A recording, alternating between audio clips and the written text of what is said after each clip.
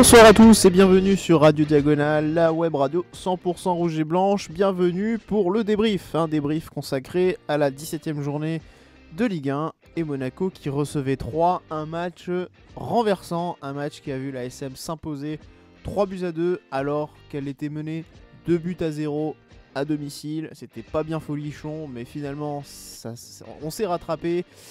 Même s'il y a quand même beaucoup de choses à dire encore sur ce match, euh, ce non-match presque de la SM, en tout cas qui a été vraiment mis en difficulté. Euh, pour, pour en parler ce soir, je serai avec Rome et Patrice. Bonsoir messieurs. Salut Damien.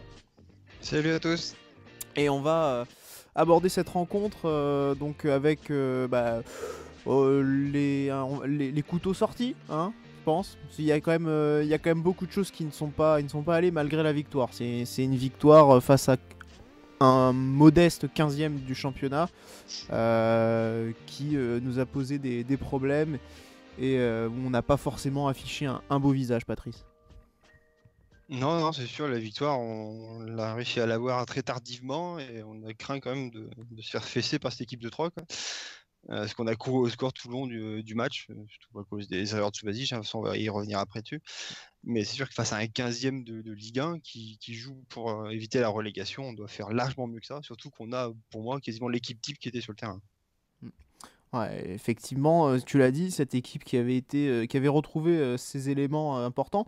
Après la, rencontre de Porto, où on avait beaucoup fait tourner, Rome, c'était logique, en fin de compte, de retrouver des éléments comme.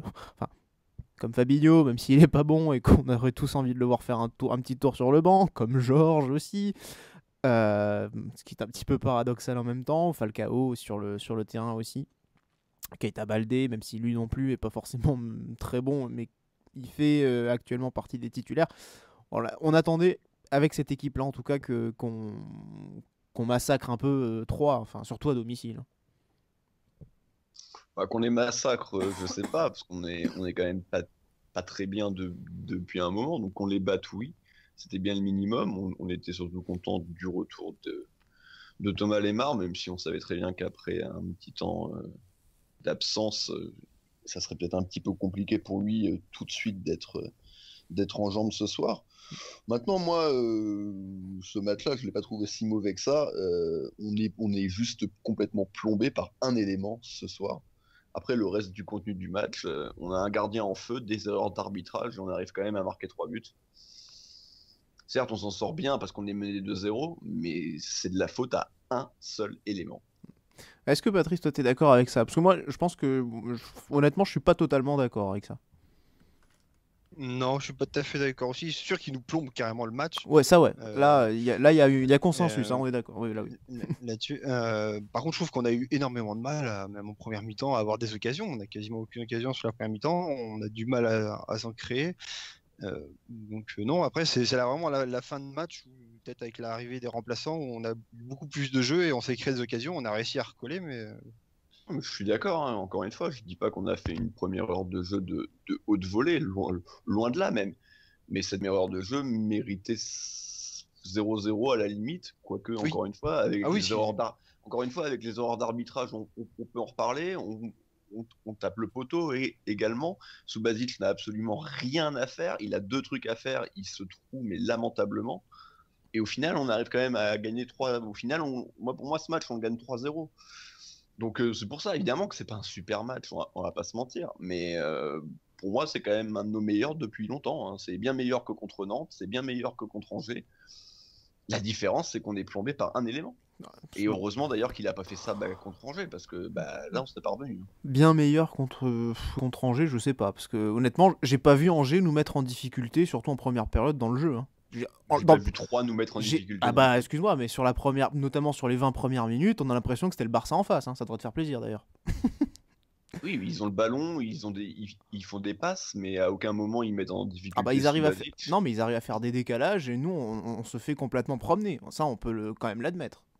Il sort très bien du pressing, franchement. Voilà, on sort. Il alors, une touche de balle, soit avec Nivet qui joue dos, au but, quoi, ils arrivent très bien à sortir. Par contre, après, ils n'arrivent pas à se créer d'occasion. Dès qu'ils sont arrivés vers nos 30 mètres, c'est autre chose.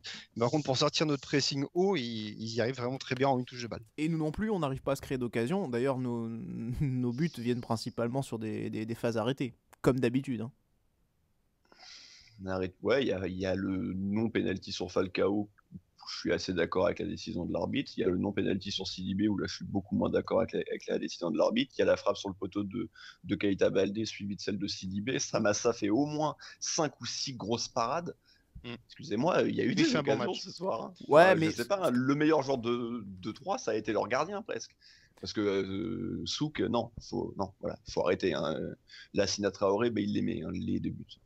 Donc Non, euh, mais quasiment leur, meilleur joueur a été leur gardien et malgré tout, il, il, il en prend 3. Ce que je veux dire, c'est que ce soir, j'ai pas envie d'être sévère. ce que je, ce que je veux dire, c'est que les actions monégasques, so- soit elles viennent de frappes de loin, ce qui donc traduit une impuissance à se créer des occasions pour s'approcher de la zone de vérité. Pas forcément, les frappes de loin, ça veut pas forcément Bah, dire que c'est un aveu d'impuissance. Si t'es pas capable de créer du jeu à l'intérieur, dans la zone des 30 mètres, c'est que t'as du, t'as du mal offensivement. Frappe de loin, ça fait partie aussi du jeu. Et au final, on marque que dans la surface de réparation. Donc, euh, Oui, oui, je mais sais pas. enfin, je sais pas ce que t'en Bah, penses, toi, nous-. Si tu, veux- peut-être que tu peux trancher oui. aussi. euh. Oui, oui, parce que pour moi, les, les frappes de loin, avec notre équipe, notre, notre composition d'équipe, c'est euh, c'est un aveu d'impuissance qu'on n'a pas de gros frappeurs. Donc quand ils le font, c'est vraiment par dépit. Après, dans certaines équipes, ils ont des gros frappeurs de loin et ça fait partie du, jeu. Mais, pas avec l'AS Monaco. On a très peu de joueurs qui savent frapper loin. Pour moi, si, il y a Jovetic, mais il n'est pas là ce soir.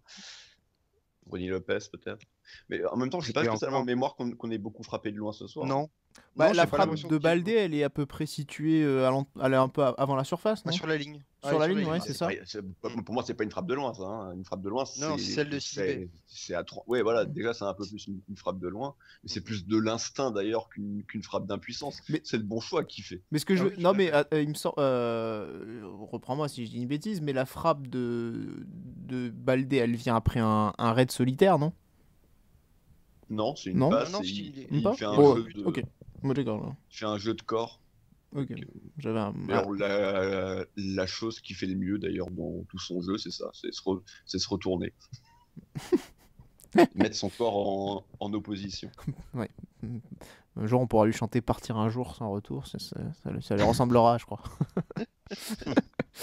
Euh, en tout cas bon le fait est que Monaco à la mi-temps est mené Euh, alors c'est vrai euh, sur un sur une cagade de, de, de Souba euh, qui relâche ce ballon et alors là pff, clairement c'est C'est un gag. on est euh, honnêtement on en reste pantois sur ce enfin, encore c'est c'est- on y- on a du mal à y croire on, on- on ne veut pas y Fabi croire est pas mieux. Fa- ah, Fabi, voilà. il est pas mieux hein, Ouais. sur l'action. C'est c'est vrai, je suis d'accord. tu- on- il y a- Pour moi, il y a plusieurs responsabilités. La première, c'est Georges qui se fait prendre par l'appel, qui se fait aspirer et qui, du coup, laisse sa zone, euh, donne un, euh, comme souvent. Fabi qui euh, se fait déboîter les deux hanches. Là, euh, je pense qu'il est. peu- Là, je... Et se prend un petit pont. ah, là, je pense qu'il est bon pour une opération, pour, euh, pour se faire une- mettre une prothèse derrière. Et Souba qui, bah, qui a la polio et avec l'âge, on le sait, ça s'aggrave en général, ce genre de choses. Les erreurs sont quand même de pire en pire. C'est-à-dire que Georges, bon, encore une fois, je l'ai je l'ai très mal noté ce soir, bon, parce qu'il n'a pas été bon. Après, bon, il se fait prendre, ça peut arriver. Fabinho, c'est déjà un peu plus compliqué. Malgré tout, ça reste une frappe bidon euh, que fait le, le, le Troyen. Elle est, elle est dans ses gants, elle est simple à prendre. N'importe quel gardien, même de district le dimanche, il la capte celle-là. Mm. Enfin, c'est une erreur euh, hallucinante. Et à ce moment-là, on se dit, bon, bah, il pourra pas faire pire. Ouais, bah si, mais il, il va réussir à faire encore pire. Mais euh, c'est enfin, c'est quand même honteux quoi de faire ça. La frappe n'est même pas puissante. Il y a rien. Il y a pas, un- je sais pas, il y a un petit rebond avant, non? Je crois même pas. Enfin, donc c'est juste euh, incompréhensible. En plus, il a personne devant lui qui peut le, qui peut le gêner parce qu'il y a Glick qui tend la jambe, mais c'est hors de, de vraiment bah, de son champ de vision. Il n'est pas vraiment entre lui et le ballon. Donc Mm. non, c'est juste une, une- une énorme connerie. Ouais. Euh, Une énorme connerie suivie d'une d'une deuxième, euh, pas dans la foulée, heureusement, mais euh, bah, c'est euh, ce tacle de Georges, tiens encore lui, qui, qui envoie le ballon en direction de Subasic. Alors ça l'oblige à, à sortir euh, hors de sa surface pour aller euh, euh, dégager ce ballon. Souk va, va jusqu'au bout de, de sa course pour, pour essayer d'aller contrer, hein, sait-on jamais. Et bah, là encore, Souba fait une deuxième erreur, puisqu'il dégage comme un bourrin. Et- Pour moi, il y a deux erreurs. là. La première, c'est qu'il met du temps à sortir. Oui, Alors aussi. qu'il- Il est tout seul, je vois pas qu'est-ce qu'il peut attendre. Quoi. Surtout que je- Alors il est pas, il est, contrairement à d'habitude, il est pas sur sa ligne. hein, là. Ouais, et D'habitude, il sort en plus sur son action. Et euh, la deuxième erreur, c'est qu'il choisit de frapper droit. Pourquoi il la met pas en touche? Ouais, puis ouais. en l'air. Il y a un joueur qui est devant lui, il n'y a aucune raison de frapper euh, devant. Quoi. Il faut la mettre sur le, côté pour être sûr qu'il ne la reprenne pas. Il faut la mettre sur le côté. Je pense qu'il voit déjà que l'autre est en train de, de, de, sauter pour aller essayer de contrer. Il suffit de mettre un ballon un peu plus à ras de terre ou, voilà, ou, même tu sors en taclant, tu vois. En taclant, tu as peu de chances de lever le ballon. De, Non, mais mais... Le problème dans l'axe, c'est si, même s'il arrive à passer. Ouais, après la direction. il va être dans l'axe et il peut se prendre à love. Tu peux quand même. France, quoi. Mais je veux dire, il y a plein d'autres solutions avant de faire, euh, de faire ce qu'il fait, quoi. C'est. En fait, il peut absolument tout faire sauf. Euh, sauf ce qu'il a fait finalement. ce qu'il a fait presque. Enfin, enfin, si le pire, ça aurait été de rater le ballon. Bah, Sinon. ou essayer de faire un dribble comme il avait déjà eu fait euh, et de se rater. Ouais. Ouais, mais il arrive tellement vite, de toute façon, l'autre, mm. bah, qu'il lui serait passé. Oui, il euh, aurait, il aurait, il l'aurait dribblé en fait. Il aurait, il aurait réussi le dribble, bien sûr. Ça, il n'y aura pas eu de. mais euh, ouais, non, mais il a pas du tout le. Il a, voilà, c'est donc. ouais, ce soir, c'est sanction. Hein. Ce soir, on vous l'annonce, c'est flop du match. Hein. Ah bah là, de toute façon, il y a la photo, il y en a aucun qui est à son niveau là ce soir. il a, il a deux trucs, il a même quasiment trois trucs à faire parce qu'on va parler bah, de sa sortie euh, sur la dernière occasion. Il est... Euh, voilà, il a trois trucs à faire, il est catastrophique sur les trois trucs. Il y a la photo qui a été publiée sur les réseaux sociaux, hein, ceux, qui, ceux qui ont euh, par exemple Twitter, je vous invite à aller la voir. Souba, à ce moment, au moment du centre, donc il y a duel dans les 5 mètres avec euh, Gemerson et un Troyen, il est derrière la ligne. Et puis bien comme il faut, quoi. il y a au moins 50 cm. ah oui, là, là c'est pas là. Tu sais, c'est là, ça me fait penser au sketch de, de, de Kazar là, sur. Euh, c'était avec euh, Ruffier, je crois. Non, je sais plus. C'était ou non peut-être pas, peut-être que je, transforme, mais c'était pas la Goal Line Technology, c'était la Gogol Line Technology. là, ça me fait penser, c'était un peu idéal. C'était avec Ruffier alors. Il y, a des chances, mais bon, dans le doute. mais euh, voilà, j'ai pensé à ça. Je me dis, mais c'est putain, mais tu défends devant ta ligne, merde, quoi. C'est incroyable. C'est incroyable. Et ah oui, non, mais c'est après, si on regarde bien, en plus, dans le, dans les, il y a plein de, petites erreurs comme ça. Subasic a souvent en plus tendance. Euh, je me rappelle, c'était le premier, le, troisième but qu'on prend contre Toulouse, euh, je crois. Euh, il fait un ou deux pas en avant. C'est les un ou deux pas qui te niquent, qui fait que tu prends le but derrière. Tu vois, c'est, il fait souvent ça. Et alors, c'est souvent des buts sur lesquels, bah, du coup, tu, tu penses qu'il peut rien faire, et en fait, il, si. Parce que souvent, on voit pas le, on voit pas le déplacement à la télé avant.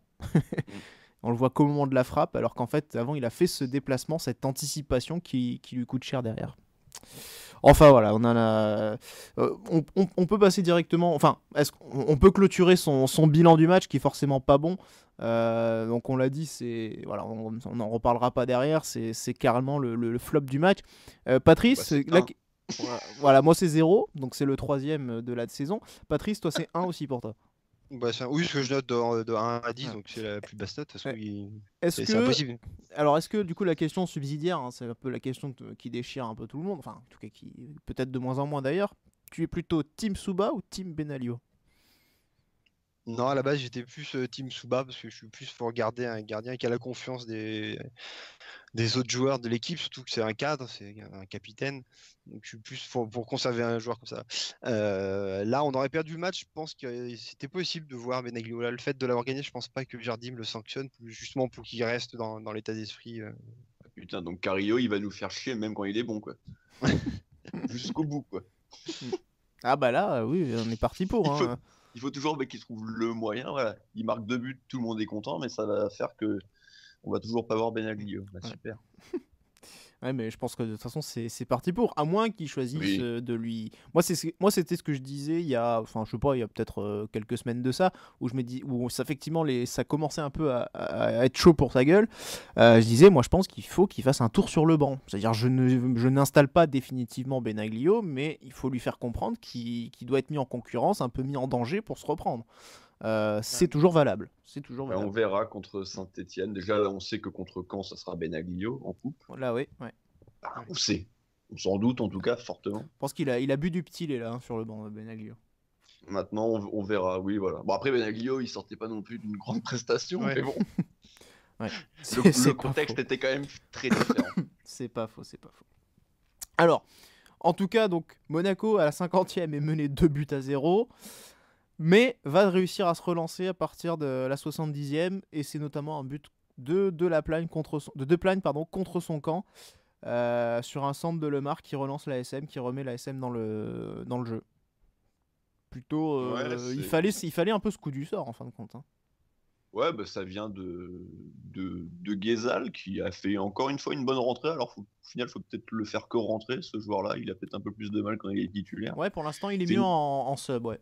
Ouais, voilà. Après, bon, il, il fait ça spécial. hein. Il rentre sur son pied gauche. De toute façon, visiblement, il a vraiment pas de pied droit parce que tu le sens qu'il veut vraiment pas l'utiliser. en tout cas, sur des frappes ou sur des centres. Et euh, bah, sa frappe est, sa frappe est déviée. Ça profite à Lemar qui se retrouve au- un peu plus loin que le deuxième poteau. Et oui, il centre fort. Elle est détournée par le dos, je dirais. Ou... En tout cas, Ouais, le, la- le, le- rein. ou- Mm, mm. elle trompe sa massa au premier poteau, elle lui passe un peu en dessous. euh, Bon, bah, c'est un but hein, complètement chanceux, mais qui m'a malgré carrément. tout euh, Mm. été mérité parce qu'il y avait eu quand même avant ça plusieurs situations et avec un Samassa qui avait été euh, qui avait été décisif quand même à une ou deux reprises. Et là, tout s'emballe. Tout s'emballe. Monaco euh, se décide à, à rejouer à partir de 2-1 et va euh, bah, un peu plus mettre de pression sur, euh, sur les, les buts troyens. Donc, euh, j'ai envie de dire d'abord, est-ce que le tournant du match, c'est pas l'expulsion de Jean-Louis Garcia? D'abord. oh l'arbitre euh, Vous arrêtez C'est- pas de pleurer oh Voilà, euh, donc Monaco va ensuite réagir dans toute fin de match, donc il faut attendre ensuite un quart d'heure. Et là, l'homme providentiel. On dit souvent d'habitude qu'il marque pas en plus des buts importants.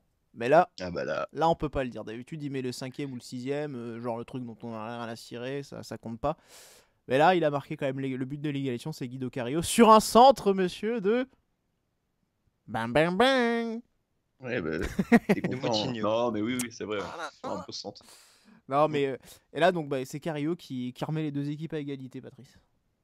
Oui, bah, il fait un- un très joli but. il coupe bien euh, sur le, deuxième poteau et place euh, son, ballon à, l'opposé avec sa tête, euh, vraiment hors de portée du gardien, dans le petit filet, vraiment parfait. L'action est vraiment très jolie. Il y a encore, une occasion ensuite avec Guido Carillo qui, qui est pas loin en plus d'être repris par Falcao. Ça passe à pas grand chose. On se dit là peut-être que ça risque. Enfin, c'est peut-être la fin de la baraka. C'est ça y est, c'est fini. Le, vent en poupe, euh, il a, il définitivement arrêté de souffler.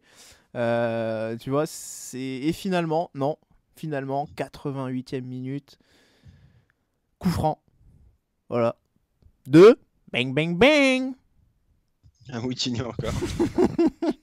Ah, c'est Mais- à peu près le seul qui l'a bien tiré quand même. hein, Voilà. faut dire que les autres coups francs qu'il a tirés ce soir, c'était pas terrible. Il y en a un très beau de Lemar en, en deuxième période aussi. Mais voilà. Et remise de la tête, euh, non, enfin de la tête euh, du coup, épaule, euh, voilà, de Glick. Remise un peu euh, chanceuse quand même. Plante. Mm. Et là, euh, bah, le goal des d'or ce soir, c'était bah, c'était Cario. Ouais. Rome. Non, mais ouais, c'est mais c'est là où tu vois quand même que il y a quand même des joueurs avec un peu de caractère dans cette équipe et Glick le représente bien parce que comme tu le dis, hein, ça c'est pas vraiment une tête ce qu'il fait. Mais voilà, il a le mérite, il, se jette. Son but c'est au moins essayer de la prendre, de la détourner, d'en faire quelque chose. Et ça se transforme en une passe décisive, mais parce qu'il se bat. Après ouais, Carillo, il y a plus qu'à la mettre au fond parce que pour le coup autant l'égalisation c'est c'est une vraie belle tête. Autant là, il y a vraiment plus qu'à la pousser. Mais euh, c'est bien, mais c'est surtout c'est, c'est, c'est la délivrance parce que moi je, me, je sentais gros, venir le truc. On, on avait poussé, poussé pour revenir à 2-2 et on allait arrêter. Hmm. Arrêter de jouer comme on a pu faire euh, relativement souvent cette année, euh, avoir des moments où il faut absolument qu'on marque donc on le fait, puis, et puis on s'arrête. On, on arrête le travail. Là, jusqu'au bout, on y est allé. Je sais plus quand c'est le coup franc de Lemar, si c'était à 2-1 ou pas. Mais euh, ouais, il y a quand même beaucoup d'occasions, quoi. Donc euh, ces, ces 20 dernières minutes sont, sont un peu folles, mais euh, c'est pas complètement immérité, quoi. Et euh, le. Apparemment, le coup franc de Lemar, c'était à 2-0, C'était à 2-0, d'accord. je pense, je crois. Ouais, mais Euh, ouais. c'était tellement vite enchaîné que. C'est vrai que ouais, les enchaînements étaient rapides. En plus, beaucoup d'arrêts de jeu après le- le- la réduction de l'écart. Euh, distribution, euh, la distribution de cartons Ah. par Schneider avec voilà, l'accrochage dans les buts pour récupérer le ballon. L'histoire, effectivement, entre, sur le banc de touche avec Garcia qui finit par se faire expulser. Donc voilà, il y a eu beaucoup d'enchaînements. En 10 minutes, on a perdu pas mal de, pas mal de temps. Euh, au, au final, euh, bon voilà, cette équipe. Alors, ce que tu disais justement, Rome, euh, c'était qu'on allait forcer. On, on est plus en, en train de réagir, de marquer quand il faut marquer. Euh, bon, quand on peut, hein, parce que ces derniers temps, bah. c'est pas tout le temps, hein, ça- ça malheureusement. toujours, hein. Mais Cette- en, ça, justement, euh, Patrice, ça fait un peu penser à l'équipe d'il y a deux ans, surtout, ça- cette chose-là. Oui, c'est vrai qu'on est. Bon, remarque, là, il y a deux ans, on gagnait plutôt nos matchs à 0, on était très défensif, on prenait pas tant de buts que ça non plus. hein. Mais on avait Alors tendance là, un peu à, à jouer bah, quand il fallait se bouger le cul pour jouer. Oh, voilà, en réaction, ouais. Bah, après, cette année, c'est pas souvent hein, qu'on a réussi à recoller au corps. Euh, encore en égalisation, oui, mais c'est que qu'on revienne avec deux buts d'écart, c'est quasiment jamais arrivé. J'ai, euh, bah, la Et- preuve, j'ai sorti une infographie sur Twitter euh, cette semaine Ouais. où, où c'est arrivé en fait que, que une fois. Il n'y a que Moutinho contre le PSG qui a réussi à recoller Bang, bang, bang. légèrement le score. Sinon, Ça va être mon jingle. Moutinho, ça, non. Mais ça- c'est en, en tout cas, finalement, Monaco. Je vais le mettre souvent, je crois. Donc Monaco qui réussit, mine de rien, à marquer 3 buts. Euh, Vu le début du match, c'était quand même pas ce qu'on pouvait croire. Et pendant longtemps, avec euh, le score, euh, enfin le- notre, notre tableau d'affichage qui était vierge, Rome, on s'est demandé pendant le match euh, combien de temps ça faisait que Monaco n'avait pas, euh, n'avait pas marqué sur sa pelouse. Ça faisait un bail. Ouais, c'est ça, ouais. Je me, je me suis demandé juste avant qu'on marque au final. Donc, euh, Mm. Mais du coup, La prochaine fois, vérifier demande-toi le un peu plus tôt. hein. Ouais, et du coup, ça faisait 44 rencontres, c'est ça? Pas de ça. bêtises. Ouais. Et c'était le 3-0 qu'on avait pris contre Paris il y a, il y a maintenant euh, Ah oui. Ouais. un an et demi, quasiment, oui, un- enfin une saison et demie, puisqu'on est quasiment à la mi-saison là. Donc, euh, Et du coup, c'est à ce moment-là que Nian entre et que je prophétise le 3-0 pour 3. Non, il y a deux saisons et demie, excusez-moi. Non, il y a deux saisons et demie, pas il y a une saison et demie. Ouais. Oui, donc c'est vraiment énorme. Voilà, c'est beaucoup. Et en- dans ce laps de temps, on avait marqué donc bah, avant le match 116 buts, donc là ça fait 119, donc c'est quand même euh, sacré, sacré, euh, sacré performance. Euh, le record, enfin en tout cas la précédente série de cette envergure, c'était Nice en 75-78 avec 55 matchs. Voilà, donc euh, 45 maintenant pour nous, donc plus que 10. Bah écoute, euh, sachant qu'on a passé Paris, euh, C'est À encore domicile. beaucoup quand même. C'est encore beaucoup, c'est vrai. Ouais, ça fait quasiment jusqu'à la fin de saison. Euh, donc il va falloir. Mais bon, pourquoi pas Ça peut être un bel, Ah oui, euh, un bel enjeu. Enfin, pas- je, dirais pas une source de motivation. hein. Il reste 21 finales quand même, mais euh, C'est loin d'être impossible, mais bon, quand on sera à 2-3 matchs, on pourra en parler, quoi. La 10. Ça, en tout cas, pas- c'est, en tout cas, c'est, c'est une très belle série. Donc elle continue. C'est la bonne nouvelle aussi de, de la soirée. Euh, on va passer un petit peu plus aux performances individuelles. Donc euh, le flop du match, on en a déjà parlé, c'est Subasic. Euh, L'homme du match, de votre côté, je pense que là aussi, il va peut-être y avoir consensus. Un doublé ce soir. Enfin, Ouais. euh, Samassa d'abord, mais ensuite un doublé ce soir. Euh, Guido Carillo. Ça me paraît logique. Oui, pour moi, c'est ça aussi. Surtout qu'il a joué qu'une mi-temps. En plus, ouais. Hmm. Tu veux nous en parler Oui, un peu? oui. Je, je, je- ok, d'accord, vous avez pas envie d'en parler de. Si, si, moi, je, C'est- ouais, je veux, je déjà, c'est- le changement basique, euh, Jardim. euh, pff, quand, tu, quand tu le vois, on est toujours en train de se dire non, mais pas possible, pas Carillo, putain. J'avoue que j'ai râlé à la mi-temps. On est d'accord. Voilà. Je, je rappellerai pour ceux qui ont écouté la causerie et qui ne l'ont- ceux qui ne l'ont pas Ah, encore fait et qui iront oui. l'écouter que je l'avais annoncé que fallait- il devait, il, il devait marquer contre 3. C'est- C'est c'est son équipe, c'est l'équipe contre laquelle il, voilà, il réussit. Monsieur les experts, voilà. Non, mais euh, oui, moi aussi, c'est mon homme du match, forcément, parce que bah, parce qu'il est décisif, qu'il marque deux buts, dont un beau but en plus, qu'il a une autre occasion euh, énorme, qu'il a pris quelques ballons de la tête aussi, à un moment euh, ou deux, en déviation, vers Gezal, souvent, d'ailleurs, plus. Jeu, Et- quand même, c'est beaucoup plus or- or- orienté de ce côté-là. En même temps, quand il y a Georges de, de l'autre côté, euh, tu perds un côté. Donc, euh, ouais, c'est bien. Après, euh, ça reste pauvre dans le reste du jeu. C'est sûr que dès que le ballon est au sol, dès qu'on lui demande de faire quelque chose d'un peu de, un peu de technique, il, il sait pas faire, mais on le sait. Au moins, Mm. euh, souvent on gueule, et à juste titre, parce qu'il rentre, mais en plus d'être très mauvais ballon au pied, il est même pas décisif, il, il marque pas de but, en tout cas pas de but important, et au final, bah, il, Hmm. Il apporte si tu rien. jouais à ouais. 10. C'est comme si tu jouais à 10. Là, il rentre, il marque deux buts, donc euh, que demander de plus? Et en plus, c'est deux buts décisifs. Donc, euh, non, non, c'est très bien. Bon, après, euh, je mets que 6,5 parce que, parce que autour, c'est quand même moyen, mais, euh, On Mais, pourra, ouais. mais c'est l'homme du match. on pourra apprécier le, le jeu, de- le, le- le trait d'humour de Boris avant son doublé qui dit qu'il a même pas été capable de récupérer le ballon dans les filets après le but de, de contre son camp. C'était bien trouvé, malheureusement. euh, La, suite de, de la- de l'histoire a donné tort à, à ce cher Boris. Euh, en tout cas, juste pour revenir un, un instant sur le pour le pour l'homme du match, c'est bon, mais pour le flop du match, pour moi, c'est passé à deux doigts. Enfin, Subasic était quand même euh, bien, euh, bi- voilà, c'était quand même le favori, mais j'étais à deux doigts quand même de le foutre à Jardim. Quand même sur ce match. Et pas que sur ce match, c'était presque un, peu euh, sur plusieurs matchs quoi. Euh, c'est pas uniquement, euh, vous savez que moi j'aime beaucoup Jardim, c'est pas euh, c'est pas lui qui est sur le terrain bien sûr, mais à un moment donné, il y a pas mal d'incohérences dans ce qu'on voit dans le jeu, c'est très très très pauvre pour l'instant. Il a quand même la responsabilité de, ça aussi. Il faut pas il faut pas se, se cacher derrière quand même uniquement les joueurs qui n'ont pas forcément été transcendés pendant 70 minutes par la chanson de Johnny Hallyday à l'entrée du stade des joueurs.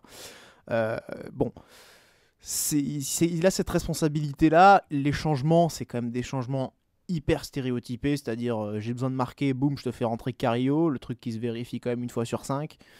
Euh, Il y a quand pas on tant voit, de solutions de ça en ce moment. il hein. n'a peut-être pas énormément de solutions, mais bon, globalement, euh, ça marche pas des masses. Quand on voit le jeu, je veux dire, il y a Baldé, Falcao, Carillo sur le terrain. Les trois sont collés aux défenseurs troyens. Il y a un bloc équipe qui est complètement coupé en deux. C'est c'est calamiteux quoi, au niveau de l'animation à ce moment-là. Non? Mais Après, c'est le choix si. aussi de partir en 4-4-2 encore une fois. hein. Moi, j'aurais préféré, avec les mêmes hommes sur le, sur le terrain, de partir en 4-2-3-1 avec Lemar en milieu offensif et Baldé sur le côté. Même si c'est pas là où il est le meilleur, mais bon, de côté, même à côté de Felcao, il a pas été non plus euh, transcendant. En tout cas, il y a un autre Et problème aussi, Il a c'est clairement que manqué du monde au milieu, j'ai trouvé. Ouais. Et c'est Il- a manqué- moment, Tite ouais. décide de passer par les ailes.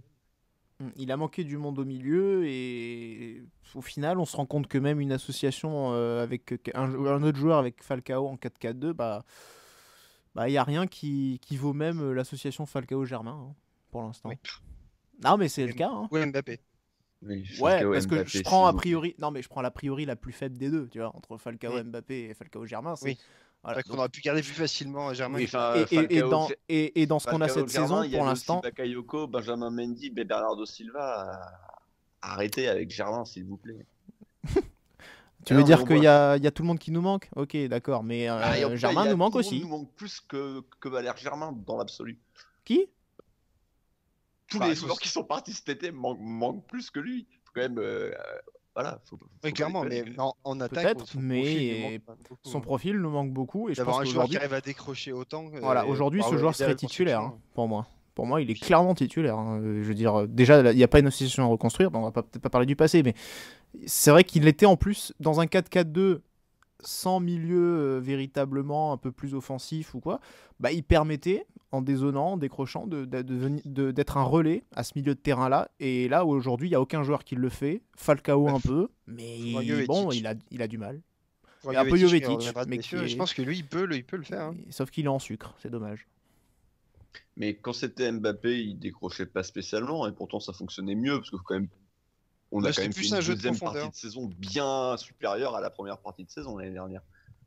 Ouais, mais Avec Mbappé, c'était tu- pas pareil, je trouve. C'était plus un jeu de profondeur. C'est-à-dire qu'on Ouais, ouais. on cherchait plus à, à jouer long que jouer avec, euh, à jouer au centre euh, en passe. C'est mais c'est là où on a eu tous nos meilleurs résultats. C'est sûr. Temps, c'est Euh, logique, c'est la fin de saison. ouais. Le 7-0 à Metz, euh, c'est Valère qui ouvre le score, hein, mon coco. oui, c'est Euh. ça. C'est c'est. D'ailleurs, Cario a mis un doublé ce jour-là.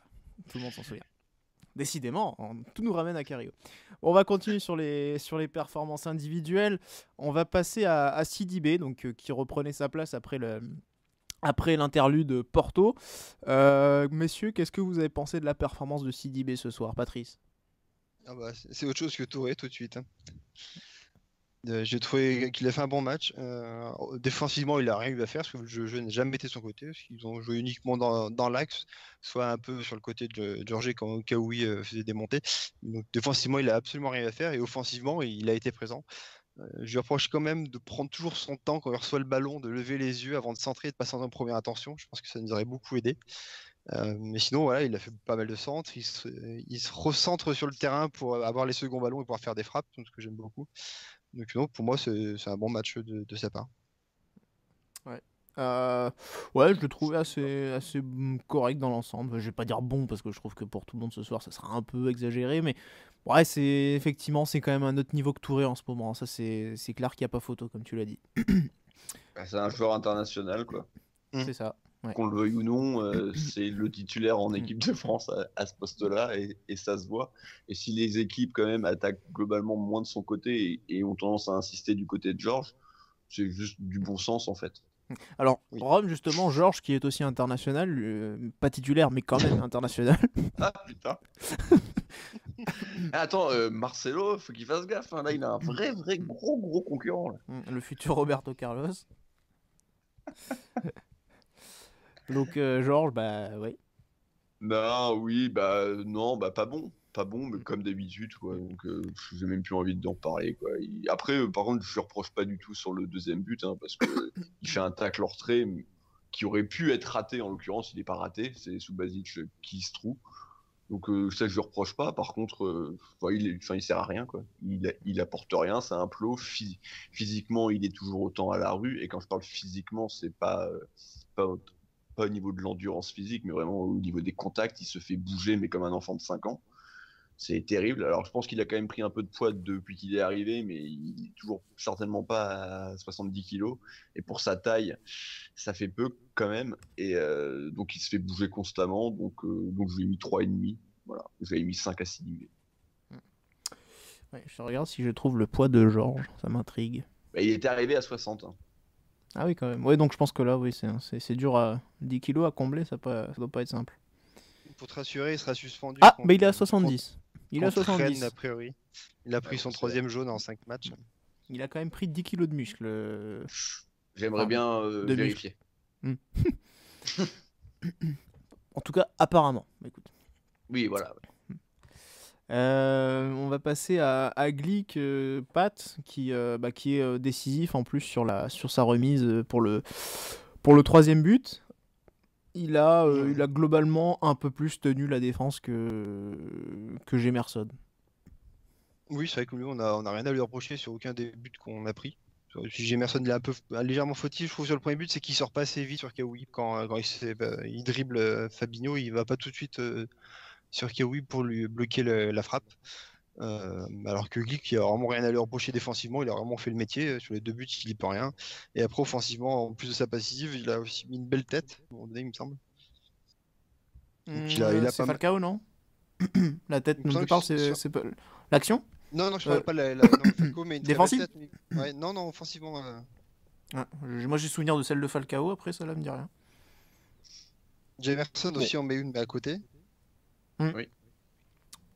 Donc, voilà, donc après. Euh, ouais. il est quand même assez décisif depuis le début de la saison. Je regardais ses stats, il est quand même à 3 buts et 3 passes décisives du coup depuis le début de la saison. Hein. Ouais, ouais. Pour un joueur défensif, c'est quand même pas mal. C'est vrai que c'est plutôt bien. C'est notre meilleur joueur depuis le début de l'année. Bah, avec le Falcao. Oui. Il a, il, a, il a eu aussi un carton jaune, Glick, euh, à la 21ème. pas, pas de risque de suspension euh, pour lui? Non, non, il en a pris un et elle a eu 13 journée. Hmm. Hmm. Il peut encore en prendre un. Quoi. Et d'ailleurs, dans la, dans la distribution de, de biscottes, euh, Fabinho, euh, Fabinho, Falcao et Cario, donc qui ont tous les trois mangé euh, après la réduction du score, parmi les trois joueurs, il n'y a pas de risque encore, non? Le seul qui est suspendu, du coup, c'est Georges, comme je disais. Georges, euh, qui, qui, est un peu un habitué, parce que c'est quand même son huitième carton jaune depuis le début de la saison. Quoi. Euh, par contre, tous les autres, ils avaient déjà des cartes, un seul carton jaune, donc ils sont tous sous le coup de la suspension au prochain carton jaune sur les prochains matchs. C'est vrai que là, on a, eu une belle palette de cartons jaunes. Ok, d'accord. Bah merci pour ces précisions. Ah, Monsieur Stat est là. Il faut bien qu'il y en ait un qui bosse, hein, oh, oh, oh, je, je, je, suis en train d'essayer d'animer cette émission avec toute la qualité euh, possible, donc euh, doucement. J'aime. Tu fais exprès de laisser un blanc là pour, euh, pour que je passe pour un con, je sais bien. ouais, ça va. Allez, on va passer au milieu de terrain. Fabinho. Non, tu veux pas, tu, tu veux pas que je. Non, Jemerson, on s'en fout. Hein? Bah c'est bon. Jemerson, on s'en fout. Ah d'accord. Tu vas en parler, mais bon, Patrice en a parlé, donc. Euh. Non, non, non, c'était pas ça, mais c'était. Euh, non, non, mais c'est bon. Tes notes, Patrice, tu leur avais mis combien aux deux? 6 et 5 J'ai mis 6 à Glick et 5 à Jemerson. Ouais, ouais j'ai fait pareil que toi. Ouais, c'est bien, c'est bien. En plus, tu, tu demandes ses notes, mais tu les as déjà vues alors. Non, mais moi je les ai vus, mais pas, mais pas, les auditeurs. Ouais. Bon, on passe au milieu de terrain. Fabinho, euh, Rome. Qui est un peu, Fabinho, euh, un peu baladé sur le but. Euh, première mi-temps où il est quand même, il est quand même très largement absent des débats encore. Hein. Ouais, non, décevant encore une fois, très décevant. Et même sur la fin de match, pas forcément lui qui est le plus en vue de la, de la révolte, de ceux qui avaient été pas très bons jusque-là. Je trouve justement que les deux autres, Moutinho et Lemar, ont été, ont eux eu un vrai, un, vrai changement dans leur, dans leur attitude et dans le jeu, chose que n'a pas eu Fabinho. Euh, oui, sur le premier but, il se fait un peu mettre à l'amende, mais bon, euh, c'est, c'est encore une fois, c'est quand même surtout sous Basic derrière.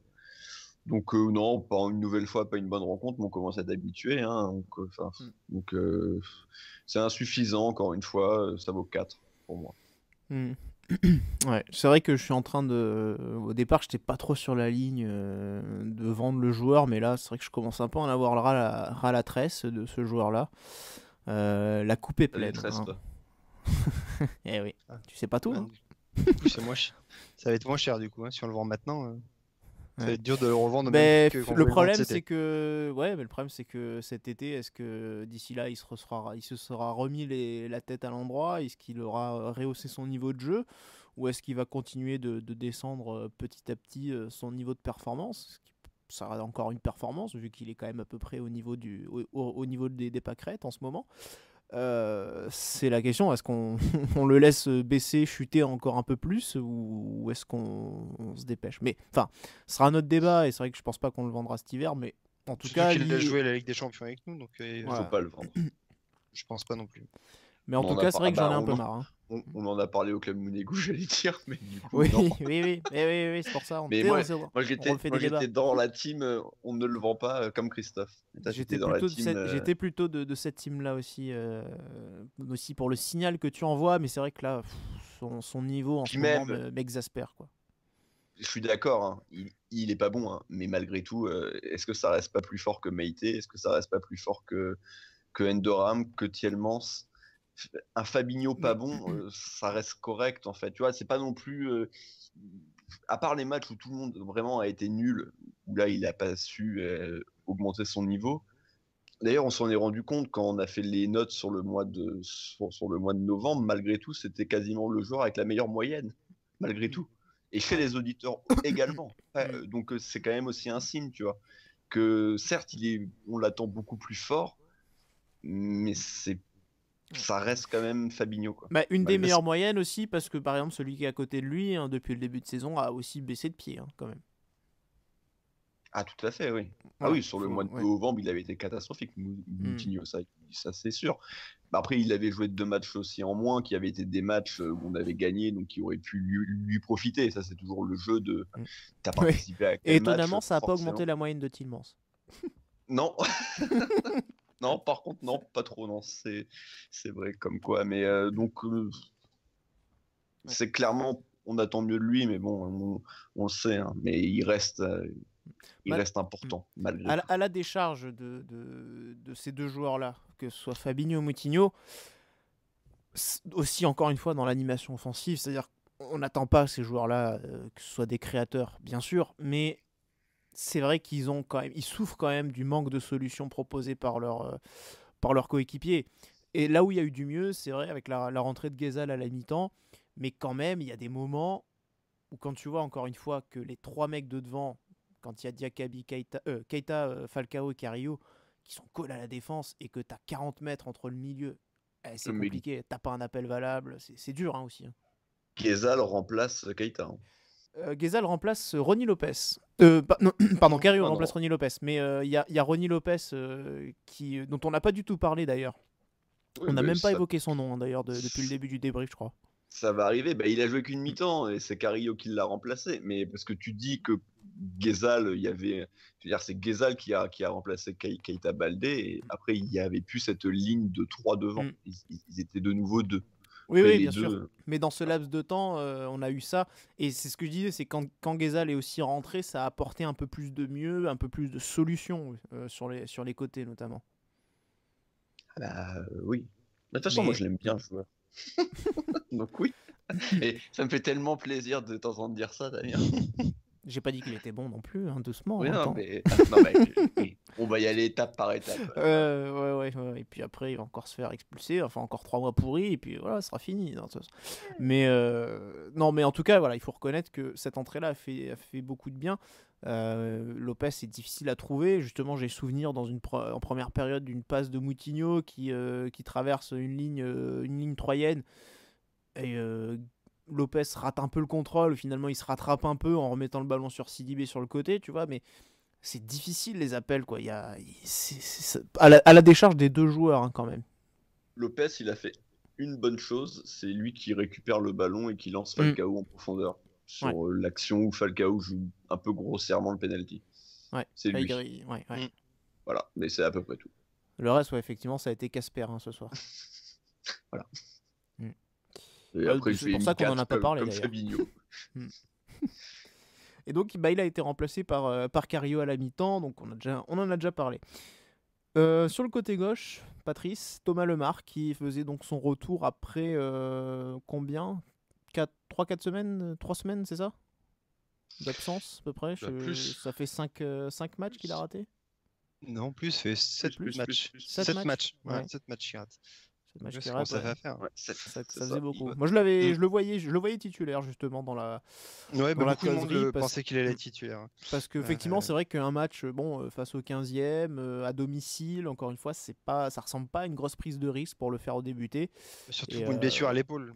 Oui, voilà, en plus. C'est pas une blessure musculaire ou qui, qui joue, mm. c'est une blessure à l'épaule, donc c'est plus simple. Toi, tu as écouté la causerie.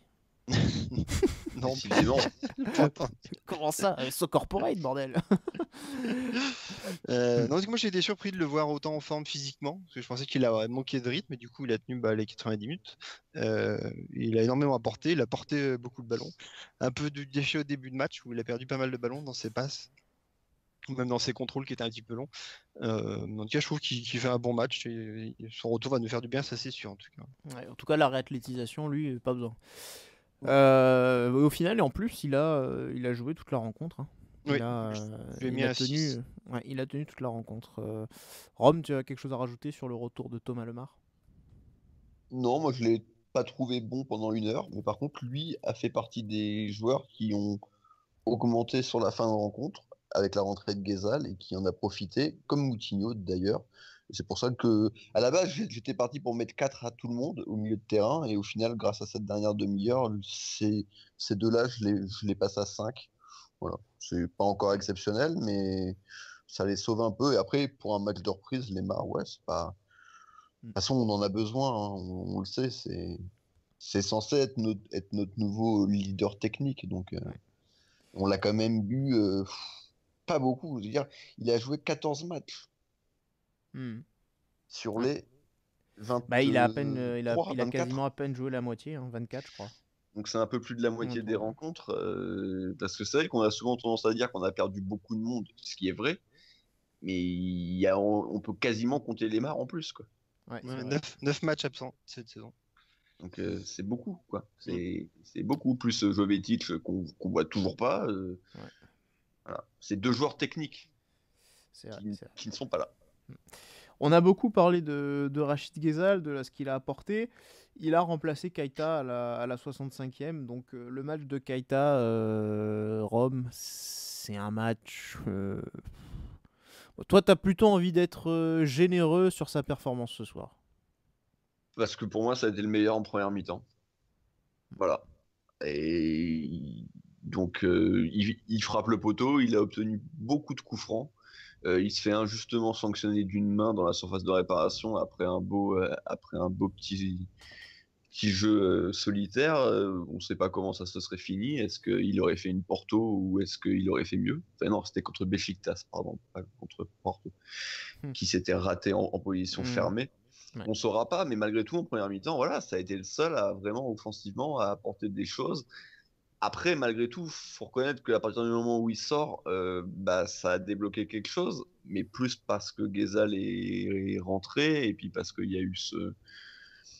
Ils ont arrêté d'être à 3 devant, comme tu disais tout à l'heure, là où ils se marchaient sur les pieds. Euh, donc, moi, non, moi j'ai bien aimé. Je trouve que quand même, Kate Keita, c'est un peu mieux. Dernièrement, euh, il est un peu moins décisif en fait qu'il ne l'était à un moment. Donc, il y a moins de buts ou de passes décisives mais je trouve que c'est plus intéressant dans le jeu. Il est, certainement en train d'être le Keita Baldé euh, qu'on attend, celui qui quand même était un joueur euh, très dominant euh, dans le championnat d'Italie, qui est quand même un championnat supérieur au championnat de France. Donc je ne vois pas pourquoi il serait devenu mauvais en l'espace de quelques mois. Donc j'ai bon espoir pour lui et je lui mets 5. Patrice, t'en as pensé quoi toi? Je lui ai mis la même note, 5 aussi j'ai vraiment du mal avec ce joueur parce que j'arrive pas à voir du tout où est-ce où est sa position. Quoi. J'arrive même là au côté de Filco, je l'ai pas trouvé sans dire. C'est vrai que c'est lui qui s'est procuré quelques occasions, mais je trouve qu'il est trop solitaire. À chaque fois qu'on lui fait la, passe, il choisit plus de pousser son ballon et de partir seul que de, jouer à, deux avec euh, avec Falcao ou avec les Lemar sur le côté. C'est vrai que moi, ah, je suis pas du tout, je... Euh, je... suis pas du tout fan et pas du tout, enfin pas vraiment satisfait non plus de sa rencontre. Euh, qu'on me dise, oui, qu'il a montré plus d'envie. Alors ça, je peux tout à fait l'entendre et je, serais même euh, d'accord avec toi. Maintenant, ce qu'il fait, c'est bah, du, il joue sa partition en, soliste. Euh, mais il en faut des joueurs comme ça. Oui, mais lui, en l'occurrence, il ne sait pas le faire. Il le fait mal. Enfin, au final, pour l'instant, il, ne le fait pas très bien. Pour il le faisait très bien en Italie. Ouais, bah, Moi, j'adorais un joueur comme Carrasco et qui était pour le coup qui était un peu le même genre hein, qui lâchait déjà pas beaucoup son ballon euh, qui partait mais qui, un peu déjà euh, ouais, mais qui a montré tout de suite dès son premier match autre chose quoi enfin quelque chose que je n'ai jamais vu ni même senti chez Baldé en tout cas ouais Enfin, on verra bien, mais. C'est compliqué aussi, mais.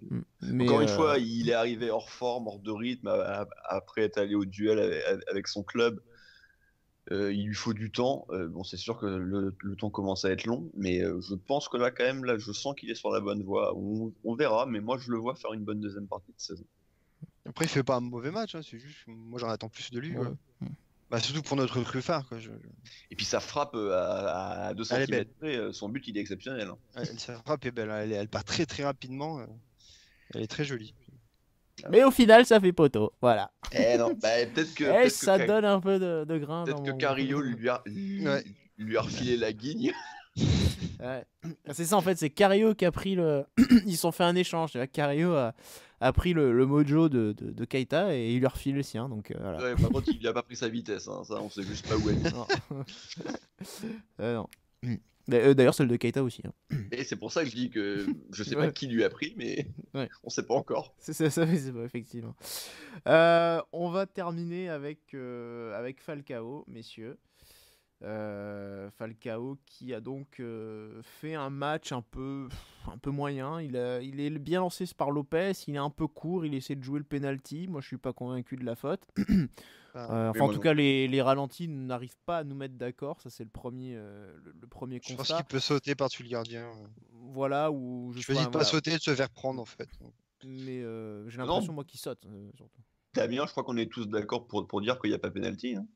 Mm. Ouais, enfin, je, en fait, on a du, mais on a du mal à voir. Enfin, moi, j'avoue que j'ai du mal un petit peu à voir, même malgré les ralentis, exactement ce qui se passe, s'il y a un vrai, vrai contact ou s'il saute un peu bah, avant. c'est pour ça, du coup. C'est difficile à dire. Il n'y a pas de truc clair qui montre qu'il y a faute. Pour moi, il n'y a pas faute. Mm.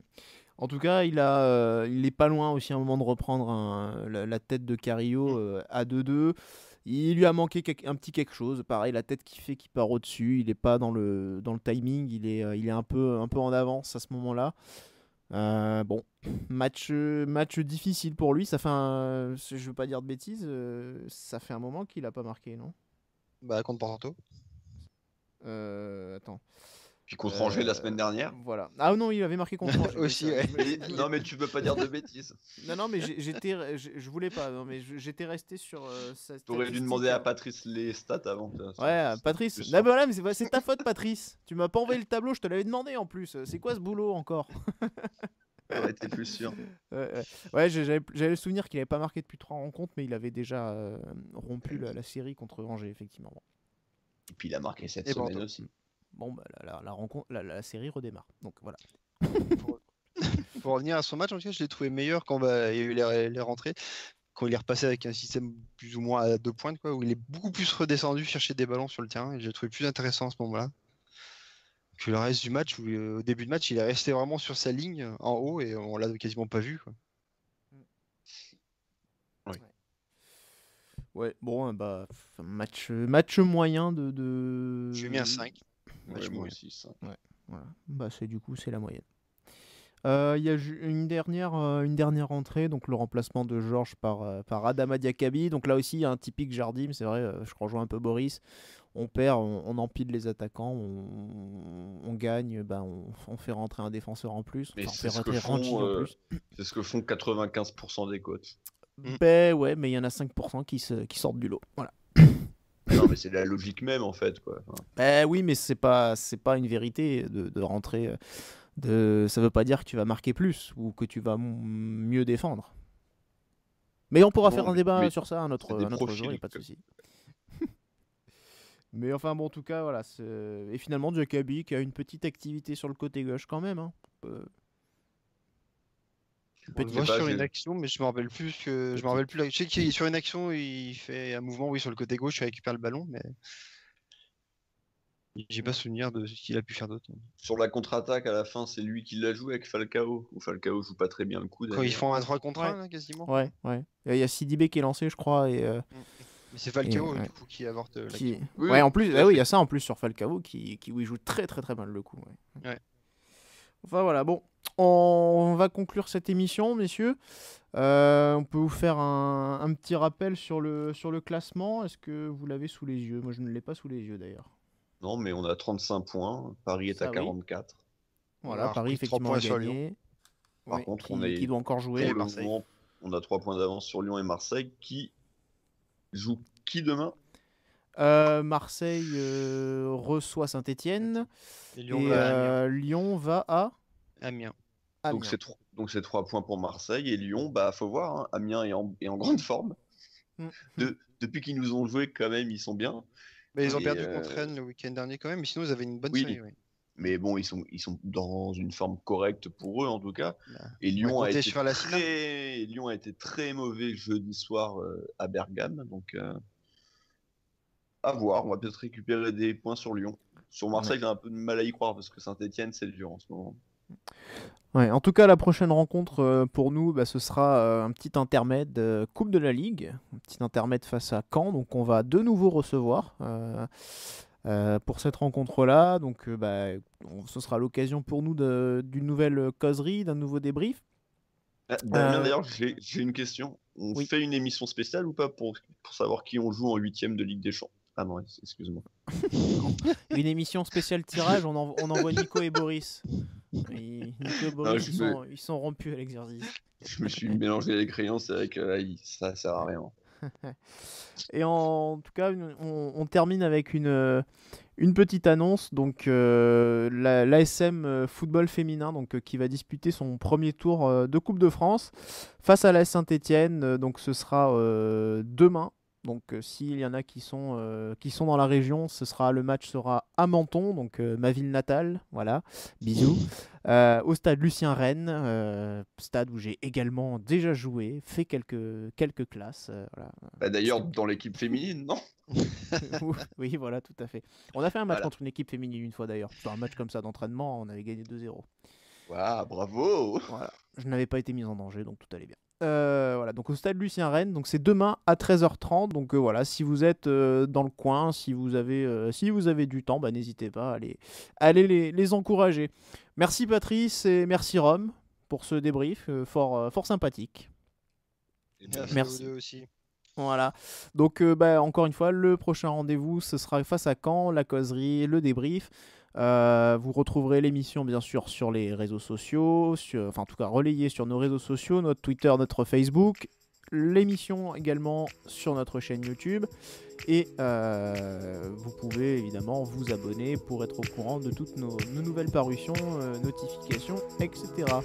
Voilà, merci à tous, merci de nous avoir suivis et Dag et Et bisous.